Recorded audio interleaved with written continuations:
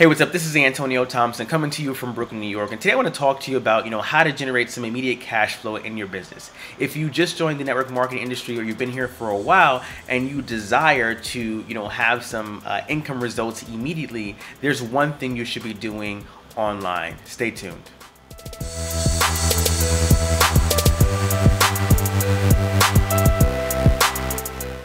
So maybe you joined this industry, you know, uh, initially to generate some extra cash in your household, right? Maybe extra $200, $500 a month to pay a bill, to start paying off some student loans, to cover, you know, your daughter's or your son's dance or karate lessons. And you want to make, you know, to make money pretty fast, right? And so here's the one thing you should be doing online consistently, daily, to to moving that needle forward to actually generate that that cash flow, right? And that one thing is active prospecting. So what is active prospecting? Active prospecting is the the method of actually reaching out to people online, on Facebook, on Instagram, on any social media site that you're using to to start a conversation, right? You want to start a conversation and and and get a sense of you know who they are, what what they do in life, you know what they're struggling with, and seeing if there's an openness to what it is you have to offer. Meaning, it could be you know your product or service, it could be your business opportunity, it, it's a matter of you just having a conversation online and finding out what someone's pains and struggles are and seeing if your product fits. Now, if it does fit, you want to ask that person, hey, would you be open to checking out, you know, something I've been working on that can help you with X?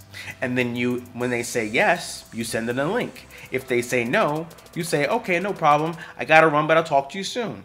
You know, very simple active prospecting is not, I repeat, is not, you know, blasting your link to you know strangers to your family and friends online it's not posting you know um, a status update and having that link in there. Active prospecting is about you developing a relationship with someone and then seeing if they're open and open to what you have to share and offer. So that's just one tip on how you can actually generate some cash flow immediately in your business and start having some money coming in. So I hope you got some value out of the short video. And if you did, please like it, share it, and comment on it.